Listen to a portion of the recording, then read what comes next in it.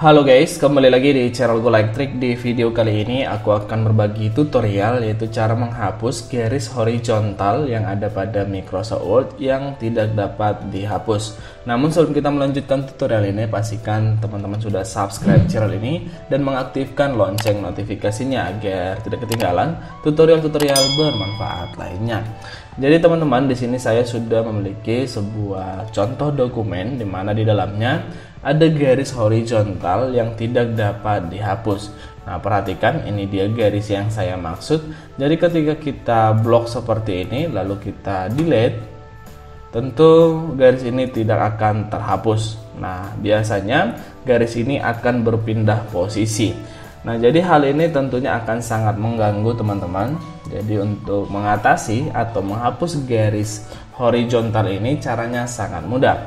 Nah, pertama tentu buka dulu dokumen yang di dalamnya ada garis horizontal yang tidak dapat dihapus seperti ini. Perhatikan.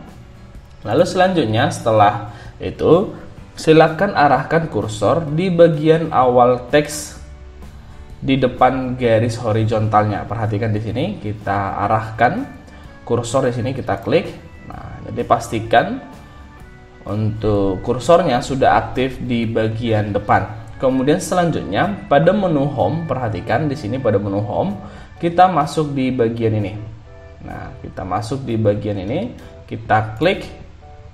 Lalu di sini kita pilih yang no border. Oke, kita pilih yang no border. Saya ulangi. Pertama, arahkan dulu kursor di bagian depan uh, teks atau garis horizontalnya. Perhatikan di sini kita klik. Lalu selanjutnya pada menu home kita klik di bagian ini. Perhatikan di pengaturan paragraf di sini kita klik. Lalu selanjutnya kita klik yang no border. Nah, kita klik Nah, maka garis tersebut akan terhapus secara otomatis. Nah, sekarang eh, teks ini sudah bisa kita edit seperti dokumen pada umumnya. Oke, jadi eh, masalah ini sering terjadi karena eh, dokumen yang kita edit adalah dokumen yang bersumber dari internet. Nah, jadi itu dia teman-teman caranya.